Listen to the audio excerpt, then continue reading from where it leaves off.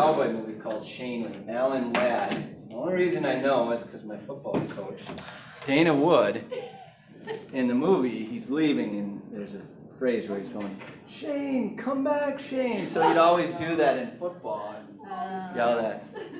You thought it was funny every time? Yeah, yep, I had to keep laughing. He's also the one that put me in detention for talking in study hall all the. Oh, boy. Oh, that's about the only perk of my name is I don't get any Yeah. jokes because nobody has my name. Yeah, no, no one has your name. Mine No. isn't that common either, I don't, but yours is really not. No, Yeah.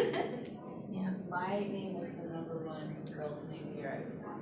Oh, really? I've never had a class where I was the only Sarah, Okay. that I can Yeah. think of, yeah. Like Yeah. my best friend in high school was also named Sarah. Aw. She's Sarah with an H, so that's we were Sarah. Sarah with an H and Sarah without an H. I like it with no H. Do you? Yes, because I- kind of same with mine, like some people have H in there, Yeah. yeah, but I don't understand that. So- I, Meg I think it was Yeah. seventh grade. Seventh or eighth grade, that school year, I spelled it with an H. Oh, Just to be. Yeah, I, I just always liked it, and then, um, the next year, I remember showing up to school and like, you know, we got like a week or two into school and I was like, oh crap. I hadn't done it, that's so funny. I just went back to being Sarah without an H. When I was little, my I wanted my name to be Summer, like so bad. To be what? Summer, Summer. like the okay. season. Yeah, yeah. I don't know why. Yeah, that's a name. And so like when I was five and six, I would literally introduce myself as Summer. And That's funny because my oldest was five and a half when my youngest was born. okay. And my oldest really wanted to name her Zoe, Oh, and, but we had already decided on the name Lillian, so she's Lily. okay. Lily's so cute. yeah, Yeah. but for like a good two or three months, Sophie, my oldest, would say, like, my little sister Zoe, like, she just was gonna just call her Zoe. But it was that same age, you get like, Yeah. there must be something about that age and a name that just hmm Yeah. I don't Mine know. was I really wanted to Allison. be Allison. Okay. Yeah. Well, yeah. I know. I told everyone, like even at school and kindergarten, I was like, yeah, my name's Summer. My parents was like, "Good mistake." I don't know why. Very cute. Is Kelly coming? I thought you said she was coming back. Maybe she is. She's on the phone. Oh, so okay. And Sherry Dutton stopped me and said she was gonna be here today, so hopefully she comes. she's probably. I get There are a lot of them, and there's a lot of pizza There's left. a lot of. Yeah. food in that old kitchen, so. Um, all right, well, in, after talking about the team meeting being on time, I will hold myself to those same standards and we're gonna get started. Um, we're gonna, yay, I was just saying, you said you're gonna be here. Um, so I wanted to, based on some coaching conversations that I've had recently, and I know came up even a little bit in the, the mastermind today, but like the slower start to the year, and that can do things to our, our brains and our mindset. We talked about mindset last week. Thank you for letting me have my little pity party. Um, doing better now. Um, but it got me thinking about these myth understandings. Have you like listened or, or listened, looked at these before in MREA? It's the first part of MREA. And um, I thought we would just kind of to jump into these a little bit and you can, we can spend as much or as little time on each one depending on what grabs you. But before we do that, I can't tell who popped on. I did. Oh, you did. Um, what do you have on your minds? Anything that you want to talk about? You know, Some of us were just in the mastermind, so we kind of already shared stuff like that, The only thing I didn't mention in the, oh, go ahead. No, no, Shan- like, it's like as far as what, but but. then. Well, like your business, what, anything, sometimes people have like a situation or a, or a, you know, something they want to run past. Situation people. in real estate? Yeah, you know, every once in a while, on rare occasions. Gee, Um, I should have said in a mastermind too, but I think like a golden letter session might be good too, like a we talked workshop. about that. because, again, I only did it once, and then I was talking to Dean about his Because when I did it, I spent way too much money. I blasted a neighborhood and it was, the neighborhood was kind of focused, but yeah, anyways. So I did maybe talk about that a little bit more. I did have some traction and I kind of re, I recircled up and I missed, I don't know if I missed an opportunity, but this guy said if I sold his rental property, he'd let me list it if I brought a buyer.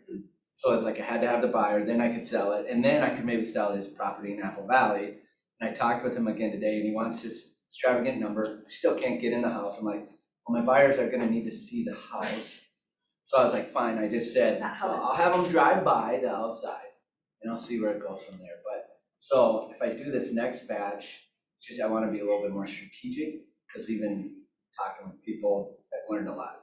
Absolutely, and I mm-hmm. feel like the, the golden letters thing keeps coming up. It's obviously a topic that people are interested in, whether you're doing them and having success, or you haven't done them yet, or you're somewhere in the middle. Mm-hmm. Um, and my thought was, I think the same direction you're going when we were finishing up the mastermind and, and Olivia was asking about trainings. You, or someone threw out Remine, mm-hmm. and I do think that we need to do another Remine one. I was not able to attend the one that we just had, I was here for Jason's team meet, meeting one. Um, but to really dive in and do more of a workshop, but I think these two should really go hand in hand. Yeah. Because most of us, if we're gonna even use Remine, the main thing we wanna get is that information from golden letters. You're chopping it. I, I am absolutely chomping at the bit. I've got two questions. Jason about did the training, Mm-hmm. but it was. When, okay, there's two things that are, that, that I'm with you. And so I wanna, uh, this is one hundred percent open, because I want your feedback, right?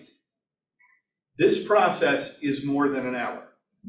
So if I was to teach it, it's going to take more than an hour. If I teach it with Sarah, as an example, because I think there's two parts to this class as well. How do I do it? Why do I do it? And then the technical, what are the actual things I do to it, right? This is mechanical process, the philosophy, and the scripts. I mean, there's. this is There's also, I'm gonna add to that, what happens when you start the, getting phone calls? Right, What's so- the script for, Right, for so you have handling scripts that? on that, I mean, Mhm. there's a lot packaged into this. That's not an hour of your time. I'd like to make it an hour of your time, and I did. I scrunched it all into an hour. And there's still questions. And there's the question of, when do you have the time Okay, to do this? so that, that's, I think where you're going. Right, Is this what we spend the next several weeks focused on here? On Wednesdays at two? I'm okay with that. I would say so, because I think that's what everybody's going back to. I think right now with the weather, the way things are, how crazy the market is, that, that's, this has probably been the most utilized tool from what I, like I have I agree. gatherings at my house where we sit and do them. I do have a question regarding it though, and this is something I've talked to John about when we were talking about certain things. There are such a large number of us doing these. Is there a way, or, I mean, I could be out there, because I am simple-minded, like, yes, how do I know I'm not sending to someone else's area? How are we, or is there a way, I mean, if you want to participate, great, or not, a, a graph or a target or an area where we can go and say, hey, I just want y'all to know I sent out golden letters to this area. Because if we are, like, I know three other, after having these conversations, someone's else like, shit, I sent to that one too. Right? I sent one to an agent out of this office, I don't remember his name, in Bloomington, right? So coordination, yes, coordination of some sort of effort because we all are super good at, I love everybody here. We're really good, but I mean. None of us intentionally want to step on Right. somebody else's toes. Yes, that's what I'm getting at, and vice versa of, hey, I talked to them and then they got your letter and like, wait, they went with, well, wait. This is why I did the golden letters, where we have a way to just dump a file of like, I sent out this this week in case, does that make sense to anybody or, okay? I just don't know if everyone will. Yeah, I don't think, that- I don't think the expectation should be that you can't send a letter to that area. If you legitimately have a buyer, or you just wanna send letters there, we can't stop that, but I see what you're saying. If Right. I'm, if I, if my sole purpose in doing these golden letters is a buyer or I want to do business in a certain neighborhood, area, town, whatever. And you just sent letters to part of that, It I'll- would shift or adjust what you're. Well, and then you right. know, there's a better chance that yours is gonna be the only letter that they get versus all, you know, there are three of us that are sending to the same Apple Valley neighborhood. Well, that, that defeats the purpose of sending the letter, right? Um, so I, I hear what you're saying, but I don't think that, the I don't think we could ever say, Right, I sent letters here and you you can't. cannot. Right. I think That's it's just not the way More of our business works. Like an Right. FYI. Yeah, Exactly. FYI, I've sent to the whole Southern Metro. Yes, Shane All has of done every don't house. Just saying. FYI, thanks Shane. Yeah. Okay, no one can market to the South Metro. I No. wonder if the like market center, or I don't care, I could make one, just a Google form, or not a Google form, but like a Google sheet where you could just throw Like a in there like yeah. Christina Meyer, Ridgefield neighborhood, June first, like, you know, sent them out that date to this neighborhood. So people can go in there and just scroll through, like, when's the last time they got one, or what neighborhoods have. And then it's like anything you put into anything. If someone looks great, they know because they really want to market and have the most result, get the most results for what they're doing. Some people Or are you gonna give a see recommendation. that Christina sent that golden letter eight months ago. Mhm. Okay, I'll send one now, cause I have a buyer looking now, you know, Right. yeah. That's a good idea. Sweet. Good thinking. I mean. I'm Was it always looking for, I always want this hour to be of value, and if this is what Mastermind said they wanted, and you guys are saying you wanted, and you're saying, well, when are you gonna find the time? Well, this is the time, let's, I, I think we just do it. Now, messes up my plan for next week. They'll pay a double for that. Yes, please. Zero times Still Um, zero. Still zero, thanks, Patty. Negative two. I'll pay the rent. Can I throw something out quick to Jason and to Toddy? Um, I just got the Fridley listing. Yay, that's awesome. That was your phone call? Is this the one that you had talked about where they didn't want to go on the market or whatever? Yay! So. You're so awesome. So to, to fully lay it out, and she didn't say it, this ultimately is a golden letter result, Yes. Mm-hmm. just not her golden letter. Not my golden letter, someone else from our office. And then there was mm-hmm. kind of a snafu, and I, John came to me and said, can you take care of this? And so I did, and it worked. More of that. Yes. Um, well, we'll just make it simple and, and take out the names. Uh, golden letter was sent out, an appointment was made, the appointment was kept, and the person was pretty upset. So keep your appointment is the message. Um, and Kelly happened to have a buyer and the, per- and the, the seller wanted to sell it off market, so Keller, Kelly had a buyer and brought the buyer out there. Ultimately, they decided the house wasn't for them. But you got And even though they had a realtor that they were going to use, should this not off-market thing not work. Yay, Kelly! Yay. Who wouldn't? Woo! Woo! That's awesome. Um, well, let's, okay, I'm trying to decide now. I wanna shift and talk about the thing that I was gonna do for next week, because I think that that's really important, but let's just see about time. Um, we're gonna dive into the, these myth understandings, and like I said, if something resonates, we can dive into it further. Um, but really, after our mindset conversation last week, this, these are the things that started popping up in my head. And throughout the last couple of weeks with the coaching that I've done, both with my growth agents, but also my team, um, I think mindset's kind of a big deal right now. And I think that there are a lot of us, myself included, that have been struggling a little bit. Um, so, does anyone have MREA You can go I, that one. I think You need it. No, no, I just thought you could, if people wanted to follow along. Um, so here's, here's the first one, go grab it. Thank you, Christina. Do you want me to grab mine too? Does someone else need it? No?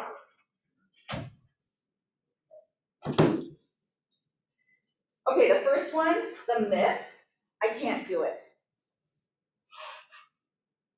I, I, I literally had agents recently say this to me.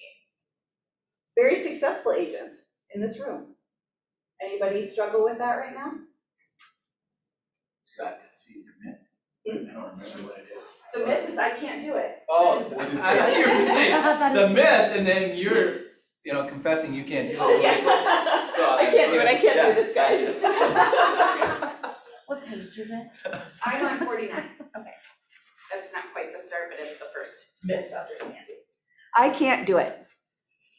So real quick, the truth is that until you try, you couldn't possibly know what you can or can't do. And so when it comes to golden letters, when it comes to just putting yourself out there and growing your business, I guarantee every single one of you can do it. And I know I was looking, picking on you, but You can pick, Um, it's okay.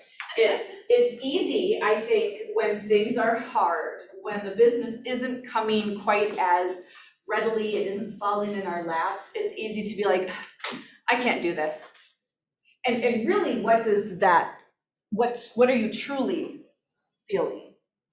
I have to work at it. Yes, I don't wanna do, I, I don't wanna don't do wanna all this this lead gen, I don't wanna do all of this work. That's really what this is. And the truth is, until you've tried different ways, until you've gotten consistency, um, you don't know if you can do it or not. And there are gonna be versions of lead gen that aren't your thing, and that's okay. So you have to try until you find the handful that are, are your thing and that you don't hate doing and maybe even enjoy doing. And then it becomes about that consistency, which I think is gonna come up a little bit later. Any other thoughts on this one? Two thoughts. I guarantee you, there's no one in this building who hears I can't do it more than me. Guarantee it. And it is not unique. It is across the board. Yeah. Somebody approached me this morning, say, I can't do it. Hey, I understand. And what, one of the things I really, really try to focus on, and I think you just hit, one of the things you nailed on the head, some things are for you and some things aren't, doesn't matter. Whoever you are, no matter what you do, some things are for you and some things aren't. I get it. Some things aren't for you, that's fine, right? Um, but I'm a big believer and I can't do it yet. And that changes the game completely. I can't do it yet. And it actually answers this, right? I can't do it yet. Do I want to? Because if I do, it's time for me to change the game. I can't do it yet, and I don't want to do it. Like, I'll be honest with you, I can't run a half marathon. Can't. I went up a hill, I ran up a hill, and I turned around, and went back inside my house and said, I don't want to be there. Right? And that's okay. That is because okay. That's not me. That is okay. And the thing is, when it comes to the I can't or I don't want to and the yet piece, I'll tell you, when I was very first licensed in PC and um, being told to do all these phone calls, call your sphere, go through your phone, call everybody, call everybody, sit for three hours in your office and make all of these phone calls every day. And I was, I did it. I tried to do it. I was really not good at it. Could I have kept working at it and forcing myself to do it and I would have gotten better? For sure. I, I do believe that. But ultimately, I didn't want to do that. So instead, I started hosting open houses and door knocking and texting people and setting up coffee dates. And all of a sudden, the business was coming in and I didn't pick up the phone, period. Unless I was like calling a client about something. But as far as lead gen went, I almost never lead gen on the phone. You found a different. I found different ways, and so that's the thing, is, is Jason gonna run a half marathon? No, he doesn't want to, but should he be doing something else, maybe, like going for a walk with your wife, or something that, it's, you can't say, I don't wanna, I can't do this, I don't want to, and real estate obviously isn't for me, if you haven't actually tried all of those different things. Some people do open houses and hate them, and don't do open houses. If you're not getting business from them, don't do them. Save yourself time on the weekend. But what else are you gonna do instead? That's the, the question, right? All right, um, this one made me think of a conversation from last week. It can't be done in my market. So last week, Jason brought up a company down in Phoenix called Seventy-two Sold. Have you ever heard of it? Have you heard of it? They, they run them every like It's- five minutes on the And the TV. It's billboards crazy. are everywhere, and it's so funny because I have spent a fair amount of time in Phoenix in the last year, and, um, it's everywhere, and I, I knew it was some gimmicky real estate thing, but I didn't know what until you came in and, and talked about it last week. And when he was talking about it, I was thinking, I mean, that's not gonna go over very well in, in our market. And then I was at a listing appointment on Friday, and the guy said to me, you know, we really do wanna sell, we need to downsize. Um, I just, the thought of people tramping through my home all weekend is just really, really, um, overwhelming to me. And where will we go? And what will we do with our little dog?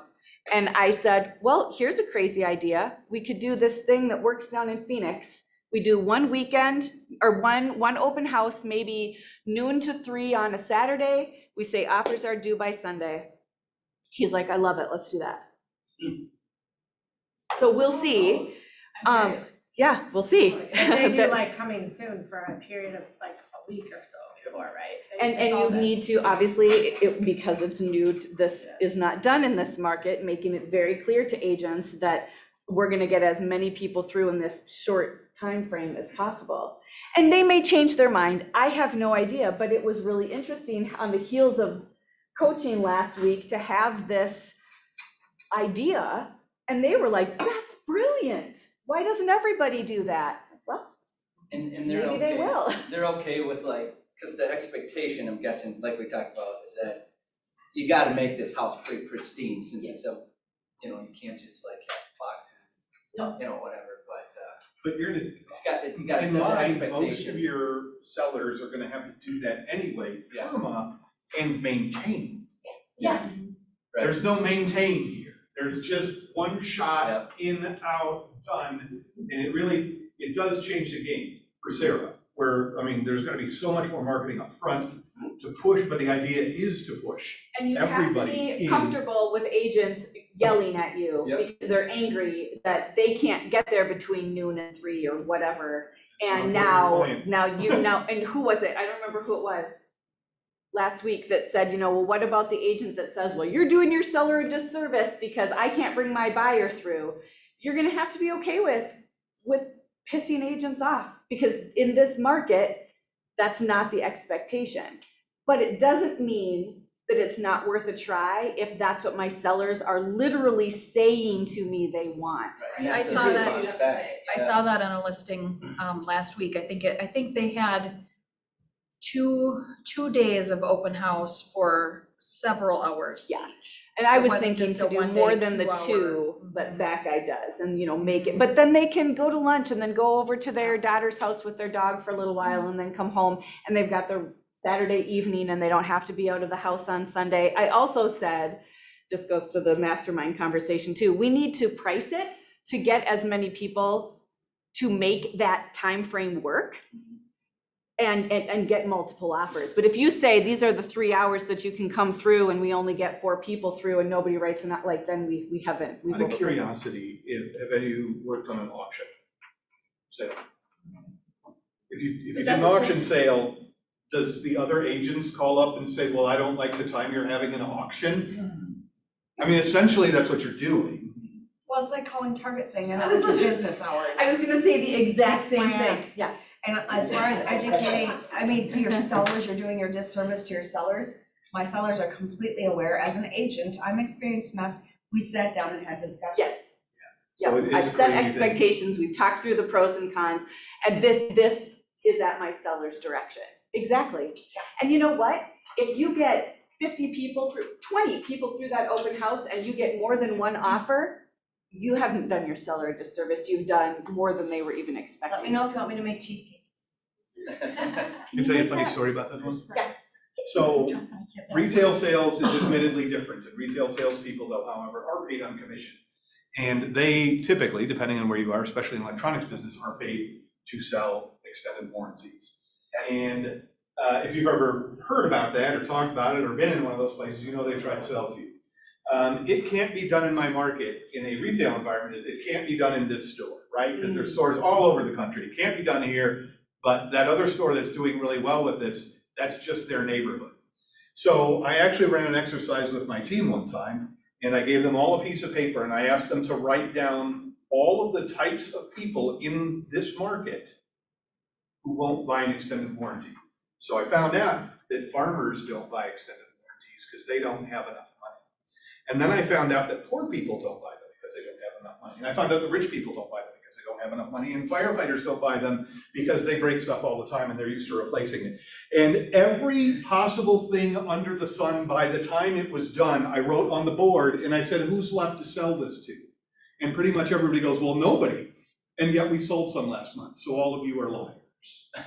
Right? I mean, at the end of the day, this is our own defense mechanism for letting ourselves off the hook. Right. And, and I mean, it, it, there are times it feels good. And here's the thing that, that stuck out, I was going back through and rereading all my highlights before I came in today, and this was the, my, my biggest takeaway for this, it can't be done in, in my market. If you believe and your competition does not, there's less of an obstacle between you and your goals. So what if this seller of mine says, we just really don't want to be gone all weekend, we have nowhere to go, what would we do? Okay, we're gonna do this open house, and it works. Now they're telling their neighbor who's also thinking about selling, and this is a true story. Hey, she sold our house in three hours on a Saturday, and then we were home the rest of the weekend. And what if he likes that idea and calls me? Who else is Right. gonna, who else is singing that song? Right.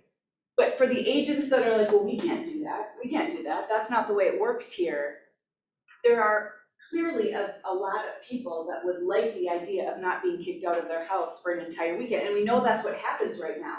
Is you do coming soon, and then you have showings from eight AM on Friday to seven PM on Sunday, and there's not a break other than to go home and crawl into bed. And a lot of people are super inconvenienced by that. They have young kids, they have pets, they maybe don't have a place to go, they don't want to. So it's, it's really, the other thing it says here is if there, if it works in another market, it can be done in yours. It's just a matter of finding out how it can be possible. And it means prepping your sellers and doing the marketing ahead of time. But I'm, it was crazy, the conversation last Wednesday and that appointment on Friday. So let you know if we do it, how it goes. When do they? Uh, probably mid to late May. Yeah, They're, they're trying to coordinate with the wedding, and there's, yeah, some moving parts, but. Um, okay, third, ready to move on? It would take too much time and effort, I would lose my freedom. So this could be anything, but it, it would take too much time and effort, and I would lose my freedom. Thoughts? Like you're in control. Gain more freedom by having this job. If you're doing things correctly, you actually gain more freedom. The key to success at this point is not to apply more time or effort to the equation, but to think of time and effort differently. Time and effort are not the deciding factors in success.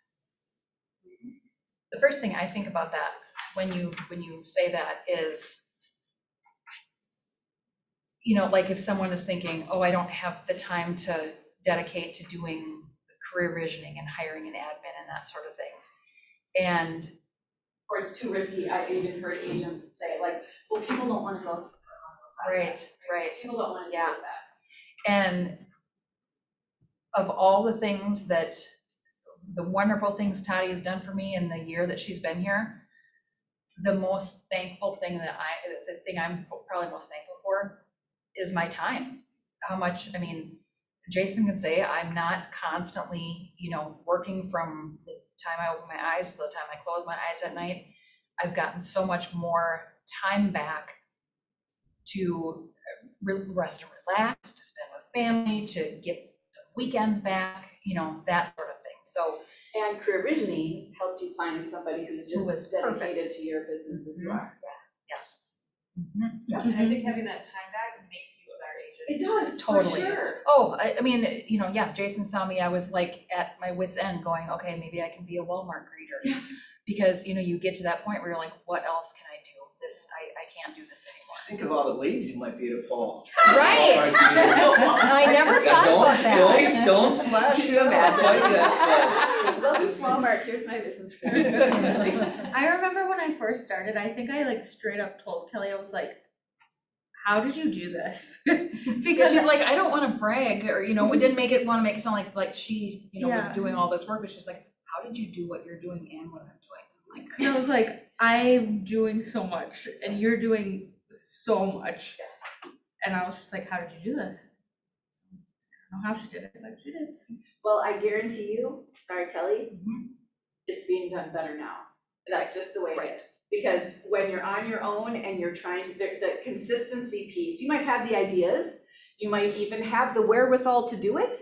It's the, the ability to do it consistently, which is what it takes in this business, is the thing that falls apart. And now you get to come in, or you did come in, and you created those systems and things do get done consistently, and that makes a huge difference. Never mind that you get the opportunity to perhaps leverage a different set of skills. Yes, that exactly. you don't have natively. Yep. Um, you know, uh, there are things that I am apparently good at, like technology. Um, but there are things that I am not good at, and knowing that there could be somebody who could handle that stuff, that's amazing to have that stuff taken off your plate. Like, again, back to Toddy, like if we have like a client event or something, she's like, oh, I love doing this, and she's making these little bags with these ribbons, and I'm like, barf. Crap, That is not Or me. Stacy will be like, okay, we need to get the invitations out eight weeks before, and we need to do the reminder this, and I'm like, oh, like twenty-four hours before, you're not, oh, hey, totally forgot. I, like, that's, I just am so fly by the seat of my pants, and she, it's very methodical in how things get done, and guess what? Since she's come on, our, our client events have been very well attended, because people had plenty of time to get them on their calendar and are excited. Yeah, I remember when Tati said she was gonna start a newsletter, and I'm like, she was like, how about we have a drawing for, you know, blah, blah, blah, and I'm like, I'll pay for it, you, you take care of everything else, and she's like, oh, yeah, I love that, I'm like, hmm. There's little myths and truths within this one, I'm not gonna share all of them with you, but the one that, that stands out to me is activity means productivity, that's the myth. He laughs, because we've all done it, especially as new agents, right? Oh, I'm gonna design my business card, oh, I'm gonna design my open house things, oh, I'm gonna design this. And the truth is, you can be very active without being productive. Like, designing an open house flyer doesn't bring you any business. Posting the open house does, door knocking does, posting that on Facebook might. But all of the time, I know that I wanted to spend on making things look pretty or looking busy, didn't actually bring me a lick of business. Okay. Okay, this is, I think, the biggest one for people right now. Um, it's too risky, I'll lose money. As a growth coach, I'm often talking about the next step in business, in your respective businesses, which might be creating a full thirty-six touch and systemizing it as much as possible. Maybe it's hiring your next, an admin. Um, maybe it's, you know, bringing on a buyer's agent, whatever the next step for you might be. And so often I just hear, well, I can't hire an admin. I can't afford to hire an admin. And the truth is, for everyone sitting in here, for where you want your businesses to be, that is something that needs to be on your radar, period. And Kelly and I, Shane, you too, like having that person that can take the administrative things off your plate and do them well is a game changer in where your business can, can go. Um, it's scary, probably one of the scariest decisions I ever made, and I just did it again, hiring a second one. And I'm still scared, that was, that was a part of my like panic attack last week. Um, it's terrifying, but I know that I'm trusting the process and I'm trusting the models and I know that it's gonna continue, we're gonna continue to grow because of it. Um, like, I look at you, You think I'm. This is what she gets for doing one-on-one coaching. Um, but that, that's the next step for you. It's scary, but that's It the is next so step. scary, and as I've been saying, I just feel like this year isn't as good as last year so far, so that makes it even more scary. Yes, and but do you know, when you were talking in, um, in coaching, and you were just sharing some of this, the mindset stuff that you've been dealing with, and the thing that was going through my head is, you have built this business, and I bet if you had an admin, and I'll help you come up with a plan to get there, but if you had an admin, so much of what you're worried about would get taken care of. Because a, big piece of it for any individual agent is that knowing that your, your clients, your sphere is hearing from you on a regular basis. And as your business grows, your client base grows, your sphere grows, it's impossible to do that as often as it needs to be done. So I, I think that part of it's the market, and part of it is you've grown and you're, you've hit a ceiling and you need to make a change to bust through that. And you and I will handle that one on one, but that's the next step for you. Thoughts? I'll, I'll just say, because I got to watch it, you know, from a safe distance, it was risky. It is risky. And I, I tell this story a lot when I talk about why I work here now, and why I don't work at Verizon. Um, I made a lot of money working at Verizon. They provided a lot of great things, a lot of neat stuff, ran a fairly solid life for our family over time. Um, however, when I left, one phrase that kept playing over in my mind was if I'm gonna bet on somebody, I'm gonna bet on me. And if you say it's too risky, I don't know anybody in here who I think can't do it. You know, I mean, I've, I've worked, I've hired literally thousands of human beings. Pretty good idea of what people do, can do, and can't do based on that database in my head. And you're fooling yourself if you think you can't do it. It is risky. And if you're gonna put your money, your effort in something, put it on you. Make the bet on yourself. Because that's the right person to bet on. Everybody else can go any number of directions, but bet on you. Because you're the only one who can control you. And God knows we have difficulty with that sometimes, anyway. But bet on yourself. That's where you want to place the risk, not on somebody else. And a part of that betting on yourself is the trusting yourself to make the right decisions for what's next in your business and in your growth. And sometimes that means that you're hiring somebody. So it's not you doing it anymore, and that's this next myth. It's not you doing it anymore, but that you've trusted yourself, that you're gonna, you're going to make this move, hire this person, or bring on this agent, whatever that next step is, that's going to help you continue to grow. Because for any individual agent, and this is what Jason was talking about last week with the lines and the, you know, I'll do a mini version, a quick version, but he had, you know, your, growth, you up and down, and then you hit this point, and you're either gonna break through or you're gonna burn out. This is where individual agents, when you're to the point where you're going to, you need a hire, you need to make a hire, that means you're right here. And this is when everyone's like, well, I can't afford it, I can't afford a hire, I can't afford that next step. But what's gonna happen is you get burnt out, because you can't do it all. So that's Try betting it. on yourself too. God bless, you are trying. Yeah, oh yeah, Or the You other are- thing is you either burn out or you cannot provide the level of service that you want to. And, and that's where I was at. I had a couple of clients who were upset with me. And I am such a people pleaser. That that, it's really hard. Heard it was, action. what's that? Just Heard some action. it was the worst thing I've ever been through. I mean, I've, you know, just knowing people were upset with me, um, was, yeah, I'm like, I, I can't. And that is the, the turning point. I remember us sitting in the living room. That was a turning point. I was in tears. Where it wasn't, should I hire an admin? It's like, you know, and he's like, you have not had a day off. You have not had any time to yourself. You Work all day, every day. And that's when it came, it switched from should I or when should I to I have to do this. It Don't, you don't have to get to that.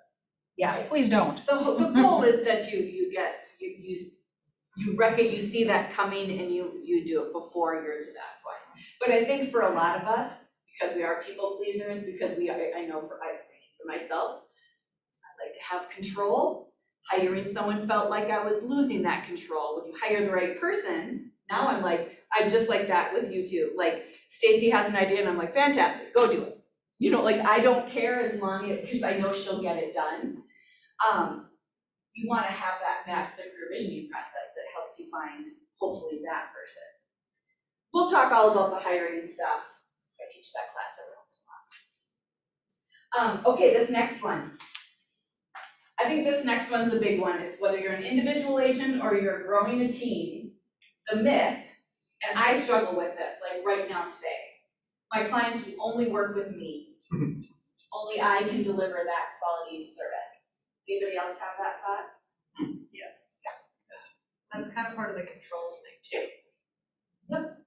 And I don't, I'm not necessarily afraid, like if I have another agent on my team, that they can't handle it. I'm afraid it's going to look like I'm passing somebody off. That's Yeah. exactly my Yeah. struggle. Yeah. Well, If it's a past client, if it's like a referral or somebody new, Then it's fine. zero problem. But if it's, you know, somebody who I sold their house to them two years ago and now they want me to sell it or, you know, help them buy a new place, I feel like I'm, Well, and like I it's- don't have time for And if that. anything does go sideways, my biggest, two of my hugest things in life for me are integrity, mm-hmm. like who I am, like I'm transparency, like this is as good as it gets. But when stuff goes sideways and someone else handles it, then it's a reflection on you. I mean, and that for me is like, I'll just do it because that's. And, but then we're back to the, the, that, hitting that, that. Right, but that's my thought Yeah, process. no, I know, I agree with you, I'm right there, so this is the truth. The myth was, oh, my clients will only work with me. The truth is your clients aren't loyal to you, they're loyal to the standards you represent. So, hiring an admin, you know, obviously that allows you to work with more clients, but I know for me, my admins are in touch with my clients. They are the ones that are kind of moving the transaction along, is that how you guys do things? So that was that piece of control that I handled, I handed off. And there was a part of me that thought, well, will my, my clients feel like I abandoned them? And I'm, obviously, I'm checking in, I'm the one that is letting them know if there's any concerns that arise or things like that. But Stacy is the one who is telling them every step of the way what the next step is. And it's, I mean, now that we have that process down, I don't have to think about it anymore, because I know that they're being reminded, I know it's getting taken care of. Um, but it's those standards, I feel like when you bring help on, whether it's an admin or you're bringing on agents, those standards actually can go up. So I have two agents on my team, and I do trust them. It's hard for me to hand a buyer off for that exact reason that Kelly was saying. I don't want my clients to feel like they're being just, you know, shoved aside. At the same time, and this is what I'm slowly learning to do, is talk about the benefits of having them work with Kim or Marquez. Marquez can get you into that home the moment you wanna see it. You know, he's, and I don't say he's got nothing else going on, which is not true. But he, that's what he's there mm-hmm. for, right? He's hungry for it and he's going, versus me, where I'm in leadership and ALC and I've got listing appointments and I can't always drop everything, especially in a market like this. So I'm finding more and more that when I set it up as this is a benefit to working with my team, people are okay with it, but that is a, this one's still a big work in progress for me. But it is about the standards. That's, that's why they came back to you. And as long as those standards are still met, your clients will be okay with that. Two things I remember really, John, talking with John Roman, uh, in a previous team meeting, and John saying, when he brought on his first person, he was a, he was a bit of a bear. Was the term he used. He was not particularly, you know, this is how it's done, this is how it's done, this is how it's done. I'm not allowing that person to have the freedom to be themselves and trusting that he had made the right decision with that person. So that's, that, that is absolutely hard. Um, and as a person who has run large teams of upwards of eighty to hundred people, it is a constant concern. Um, to be fair, you know, that, that, you know, if I have a friend come in and I'm like, all right, which agent, what, we got here today? And you look them over and you- it's gonna be this one, right? Um, but realistically, if I've done my job right, then all of them can provide that level of service, right? And sometimes there's personality issues you might want to monitor, and some folks might be a better fit for other folks and things like that. That's perfectly fine. But the other thing I found, and, and I mean, I, I, I'd be curious to see your opinion on this, Sara, but even if they ran eighty percent of the action, activity, work process, if you were available some portion of that time, you're still there, you're still in the client process. They're taking a lion's share of the work, which then frees you up to do other things, even if you're not taking them on every single showing or every single item. It Doesn't mean that the person is there and now you're gone. Right. You don't just disappear from the process.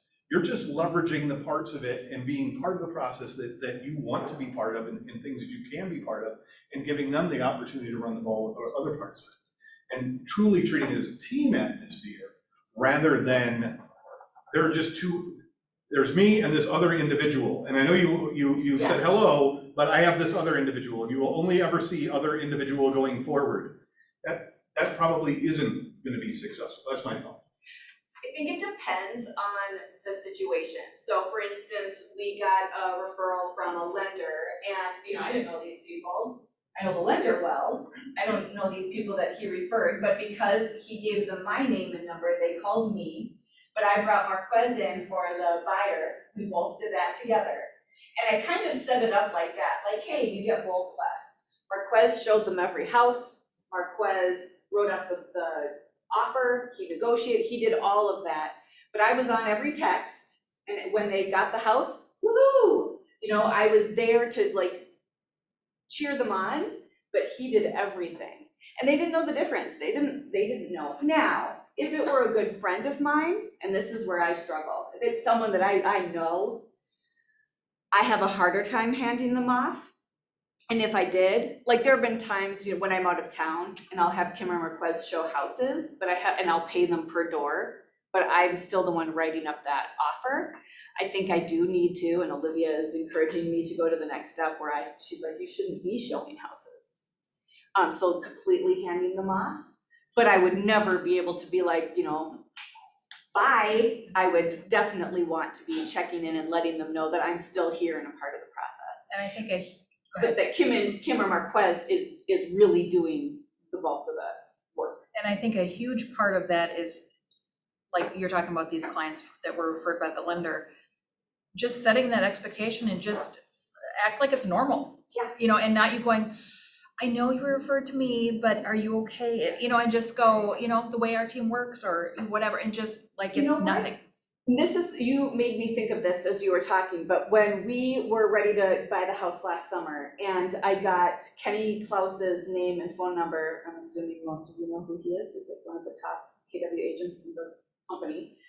And so like, she's like, here, text Kenny. It's like, oh. But I did, and he wrote me back and he said, you know, do you have time for a quick phone call? Like, sure. So we hop on the phone and I bet I talked to him for two minutes, but he was like, where are you looking? I said, I don't know, Mesa, Phoenix, somewhere in there. Great, I'm gonna give you to Angela, she's gonna be reaching out, she's one of our best. Have a great day. And never talked or heard from him again. Angela became like my best Phoenix friend. So, but it was so, it didn't even occur, I never thought I'd work with Kenny. Right. But he, it wasn't a hmm, it was a here, okay, great, I'm gonna have Angela reach out to you, and that's just what happens. And I didn't think anything of it, and granted, I know the business, but your clients won't either, because they don't know. And I think the other thing is to remember you have discretion. Is it ten ninety? Yeah. Is it ninety-five five? Where are you at in this? And there's a whole scale in between of how interaction, that one, five, uh, almost zero time, maybe even ninety-eight two, you know? Yep. Um, and, and that, that's okay. And you get to judge. Well, I You think- get to decide in the process Especially as you're bringing on a new agent, I think it probably would be more in the, you know, yeah, and you work your way here. Because you, if you want to set that standard, right, if that's what your clients are loyal to, is the standard that you or your team provide, then you better make sure that your agents are living up to that standard, and that means that they're shadowing you, they're learning from you. So those first few buyers might be at 1090, 2080, 50, 50. And then once you know they've got it, then you can step back even more. And they, your agents want that too. They want to know that, that they're hitting that level of I gotta be honest with you, I sat with Kelly, we did buyer presentation, she did one, and she did another one, then I did one. And yeah, I wanted her there, I don't wanna, oh, I mean, this is my first time saying these words for real. Mhm. I want somebody to go, no, you completely screwed those words up, those are not the right words, before it was a problem, right? I don't want it to be a problem later on down the road, I want, right now, let's fix it before, and it never happened, but, you know.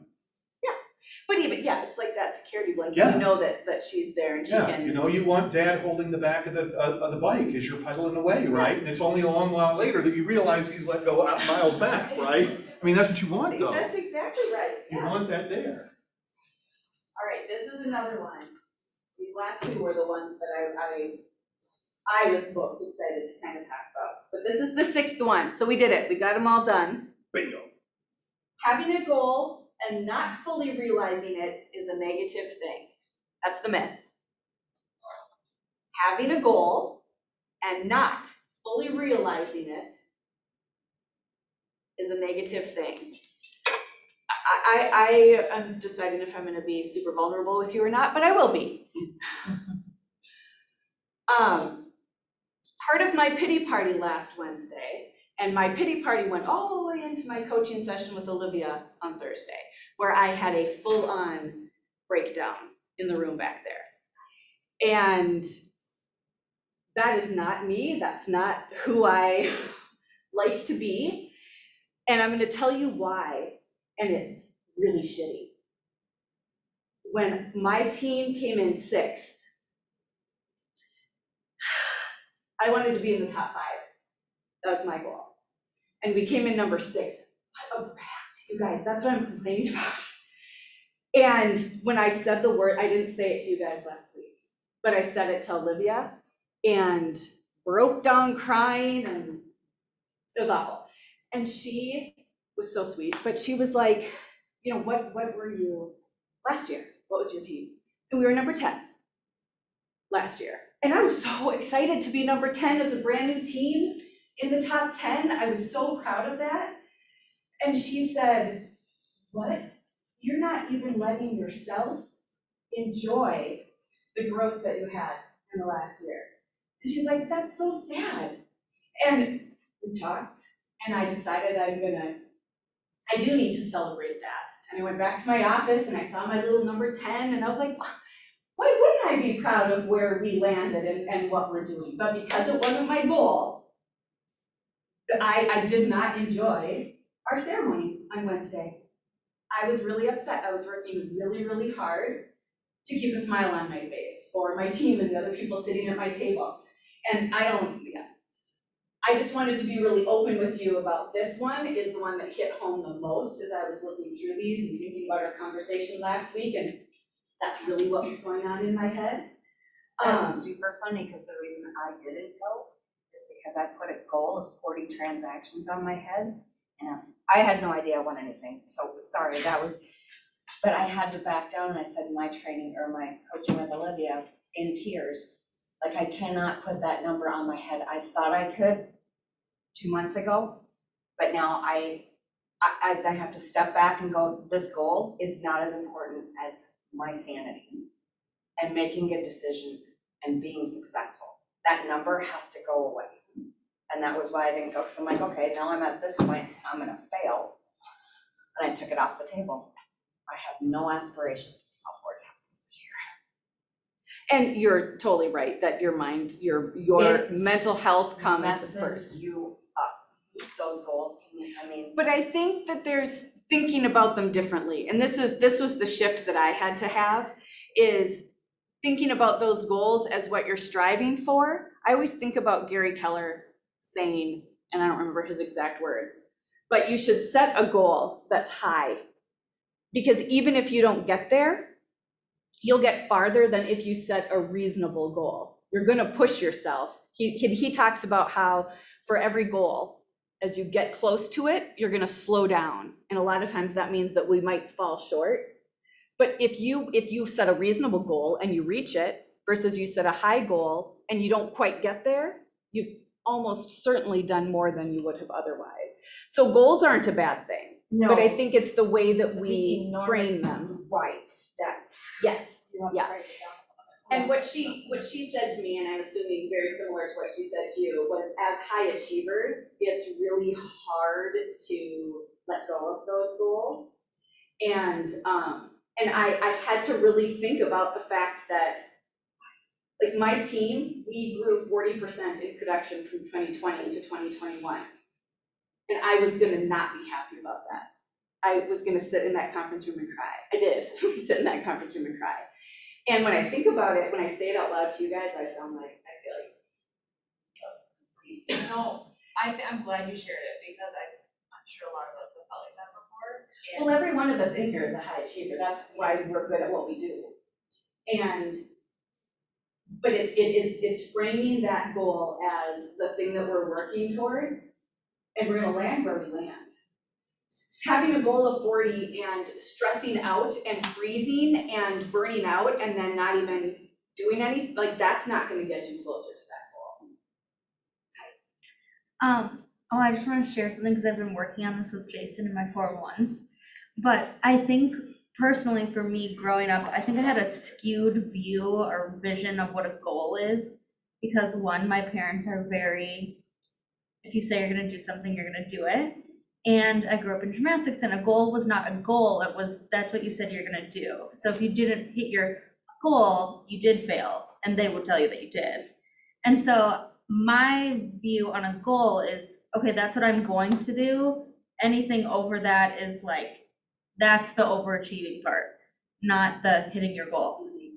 And so I've been working with Jason and one of the things that he's told me, he's like, a goal is a goal. It's a goal.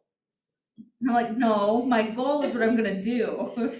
Uh, that like- is such a good mindset, cause I've never, that is exactly it. Yeah, and so he's helped me realize that, okay, you can have goals and goals are good, but a goal is a goal. So if you, I don't wanna say Don't fall get short there, of that, but if you don't hit your goal, it's okay. And so yesterday I had a, a moment where I was like, okay, Tati, I think you're growing. Because we were, we're working on our database and really cleaning it up and getting our farm people in there and put together. And I told Kelly, I was like, okay, my goal today is to get to hundred and forty contacts. And I had to voice that so that I would get there. And I, it was like four forty-five and I leave at five and I was like, came at one twenty-seven. She's like, okay, that's good, that's a goal. And in my head, I'm like, But I didn't. The goal. Goal. and I was like, well, I could stay and finish, but I have a Timberwolves game I wanna go to, I don't wanna be late. And so I think I stopped at one thirty-one, and I was like, okay, Toddy, it's okay, everything's gonna be okay. Yeah. So, but yeah, I mean, a goal is a goal, it's not like you're, It's Ending something that point. you are working towards. yeah, And Jason wrote down the word perfectionist, and I, I, I know there are, I have a lot of these tendencies, my husband does too. Um, I think a lot of us in this room probably do. But the thing with a perfectionist, if you're anything like me, is the moment that I realize that I'm not gonna reach the goal, doesn't matter where I am in the process, right? The moment that I know I'm not gonna get there, I'm like, well, screw that. I'm not doing that Gotta anymore. make it anyway. Yeah, I'm not gonna make it anyway. Anybody Setting- else? Oh, Identify with absolutely. that? Yeah. But what Tati said about if you say you're gonna do it like that, you're gonna do that. That's the mentality of the old school, like, you said you're gonna do it, that's what you need to do. Yeah. Instead of the terminology of goal, that's, to me, that's the definition. of it. and I think I'm the opposite from that, when I say there's a goal. Instead of saying like, okay, screw it, I'm not gonna do it, mine's like, okay, I'm gonna push every single other thing out of the way, because get this to is it. what I'm gonna do, I think which is not healthy. that. I think neither one is super helpful. Yeah, So, we just run contests in retail, right? We don't do, I don't do contests here, I, I don't know. Sometimes we if do, but not, probably We're a the same contest, way. right? The, the person sells the most stuff wins, yay! And there's like two people out of thirty who could win that. But skill set, ability, determination, then there's at least six people who will never come close. And those people are like, I don't even care what the contest is. They've walked out, right? Right. Because it's unachievable. There's two people under the two people who win who think they can win. They don't know that they can. So they're churning like nobody's business. And those are the only two people and the winner were motivated by the contest. Everybody else is somewhere in the state where, so the two people who are like three and four, they're like Toddy's mindset. I could win, I'm gonna, and they, they push everything to the side, and they're churning as hard as they can. And then most everybody else goes, no. And as the month goes on and they get further behind, no. You Oh, see yeah. more and more people, no, no. And then, because that's what people do, but as you're in that top part, maybe if I just do this one more thing, right? And that's, I mean, that's normal. That is what people do. That's how people act. And whether we want to own it or not, oh, Can I share this? Um, I've heard this, um, speaking of perfectionism, I've heard this quote before, and I just was looking it up because I couldn't remember exactly what the words were. And this is actually, the quote that I'm aware of was just actually a, a, the last sentence of this whole quote. This is the first time I've ever seen the whole quote. This is from a guy called, um, named Jon Acuff. If, if anybody know, he's an author, and I Yeah. think he's like a Christian guy, but I'm not sure. But anyway, his, his quote is, perfectionism is just fear wearing a tuxedo. It masquerades as a character trait, as if it's an asset, but it's not. This is the part that I, always sticks in my mind. It's a poison that pretends to be a vitamin. Oh my So- God, so that like gave me chills. Right, so people are like, oh, I'm a perfectionist, and, and look at it as being a Yes, good thing. yeah. And it's, yeah, it's, a it's a poison that pretends to be a vitamin. Right, it's and that's good for weird you. because Yeah. if things aren't perfect, like I will freak out. So it's like the fear of not having it perfect. Okay, yeah, that was great. Mhm, Yeah. Your mind is. Yeah. Yeah. I remember, that makes me think of like when I was growing up and I, I, I'm learning to not be this way. But when I was growing up, you know, my mom, three young kids, the house would be a mess and we'd be having company over. And she would be running around screaming at us and, you know, put this away, put this away, put this mm-hmm. away. Hi, come on. Oh, I'm sorry, the place is such a mess when it's like spotless because we just spent two hours crazily cleaning, but she wanted it to be perfect. And anyone that came into our house needed to think that that's how we always lived. And I have a lot of that in giving up with my kids, with the making my house up. This is, okay, so the, the truth, the myth was having a goal and not fully realizing it is a negative thing. The truth is having a goal and not trying to achieve it is a negative thing. And then here's what I highlighted from eons ago when I read this. One of the secrets to great success is to change your percep- your perspective on failure. You see, everyone experiences failures before they ultimately succeed. Some let their failure, failures stop them. Some keep trying. And then people like Edison Ford, which were some examples that he gave, chose to view failure as a learning experience and build on, not as a permanent defeat. Fail forward. Yeah, failing forward, exactly. It may sound like double talk, but failure is progress. And if you can see your failure as a point to look back and reflect on, okay, what didn't I do that I should have done? What should, what did I, you know, ask you those, those questions. what can I learn? Yeah, what can I learn from it? I can't remember who was in here, someone was in here speaking months ago, and they had a list of questions with failure, but to learn from it, and then you do better going forward. Um, so the answer is not to not have a goal, the answer is to frame it differently, and to use it as the thing that drives you, because you're gonna get further with the goal than without, but you have to frame it that way instead of what I think both you and I tend to want to do. If I don't reach can't- it, I'm invalid. Yeah. It's April and I don't have, you know, twenty-seven deals already done, so whatever. I'm, There's no way I I'm can giving up. four a month for the next five, Right. yeah.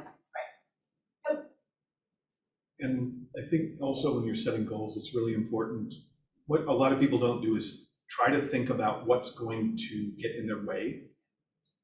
And if you, I mean, not that you let those things stop you, but if you anticipate, look, forty deals, what does that mean from a time perspective?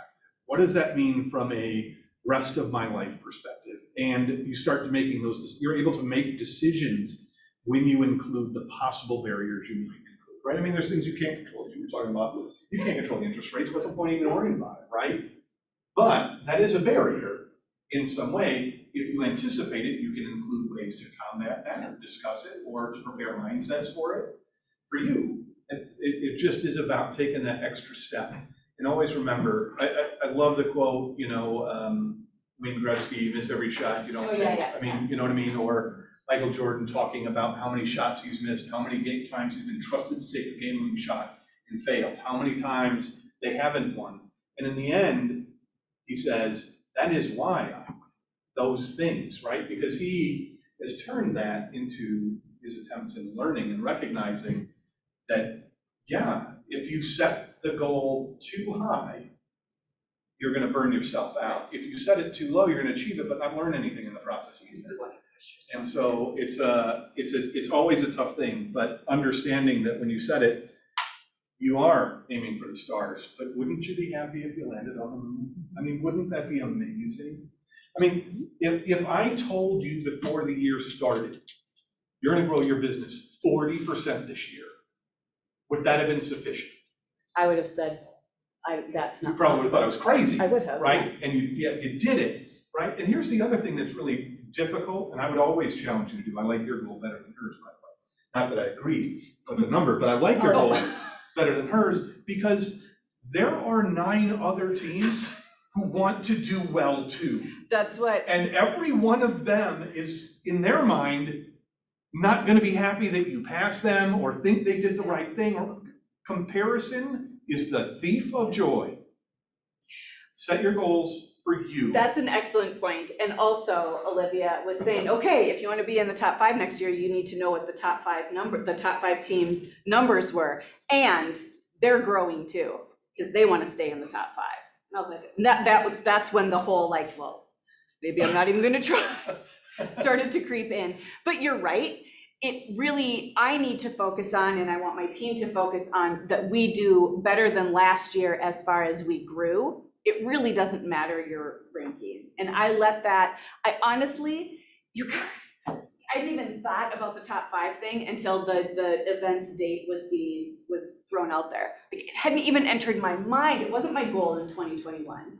It was my goal March 2nd when I was like, ooh, well, we better, I, uh, I hope we're in the top, top five. I'd love to be in the top five. And so I let this, this thing that just was like a fluke that I threw out there steal the joy from that day, which was a really awesome day. How many people lose the Super Bowl? Everybody but one team. Everybody but one team. And they all signed up that season with the idea that they were gonna be number one, except for a few. of them. You know, if you're a Vikings fan, you already know. I think the Vikings are. But, Yeah. you know what I mean? You, you- can't, you can't judge that that way. If you judge yourself that way, you will always be sad. Good discussion, thank you guys. Um, we will touch base about the next several weeks here, but come back because it's going to be the, the Remine slash Golden Letters tutorial. So I would recommend, I think Jason would agree with this, bring your computers so that you can be in Remine. Um, and I'm gonna be learning right along with it. So I'll hop in for my parts, but he's gonna run the Remine show. Okay, Um, so And you're welcome to talk to us, Kelly, about Golden Letters, because I know you've had a lot of success, like how exactly you're doing it. who comes this mastermind? Is it set for just a certain percent producer or anybody Well- can come to this? This one is, Mastermind and is grow. open for, for a- anybody. Okay, so if they're teaching on Remine, I could bring some of the new girls with. Sure, So they can learn. Yeah. Okay, it's, This is for everyone. this is for everyone? Yeah. Okay, Cool. Are you Sorry. questioning that? No, Okay, no, yeah, I'm no.